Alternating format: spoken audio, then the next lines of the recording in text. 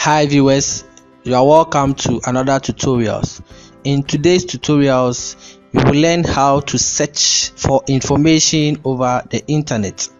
Now, you can see I am on my desktop.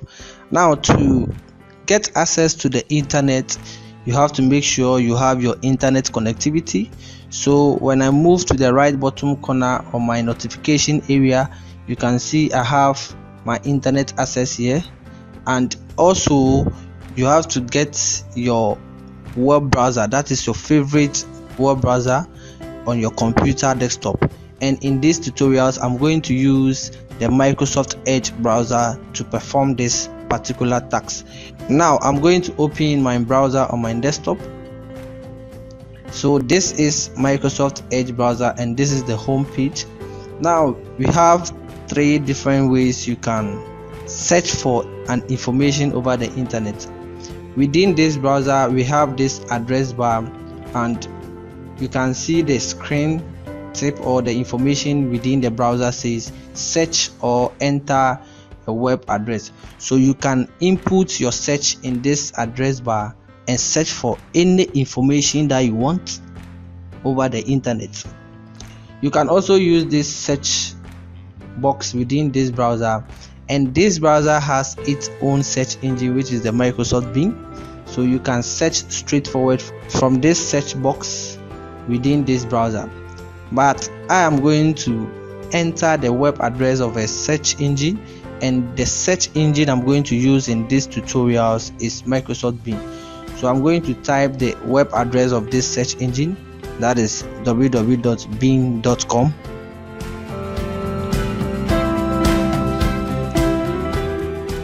after typing the address you hit the enter key on the keyboard. And this is going to open the home page of Microsoft Bing and you can see the interface of this home page of Microsoft Bing. Now you can see I have this search box here and I also have the address bar as well. Now my cursor is blinking in this search box and this is where I'm going to query my search. So I just click and type the search I want this browser to display on my computer desktop.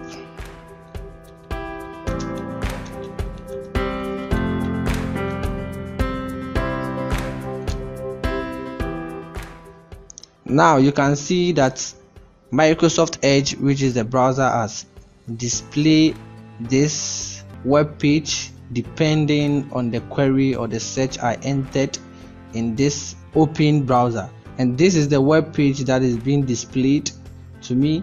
And I have different information. Some are in hyperlink some are in images form. And you can see we have some hyperlinks some text here. And I want to choose this hyperlink. So anytime you search for and information over the internet you have different kinds of information displayed within the open browser. You have to walk through and identify the the suitable information that you want whether you want to use an image or the hyperlink. Then you walk through and see if they are suitable to you. Then you start reading through or use it to perform any function or task that you want. So clicking on this hyperlink this is the information displayed to me what are the part of the computer. And you can see we have some diagram visualize that flows here. That is we have some cpu input memory and output. So these are the information displayed to me based on the hyperlink that i chose. So this is how to search for information over the internet and you can use the information displayed to you to perform any function.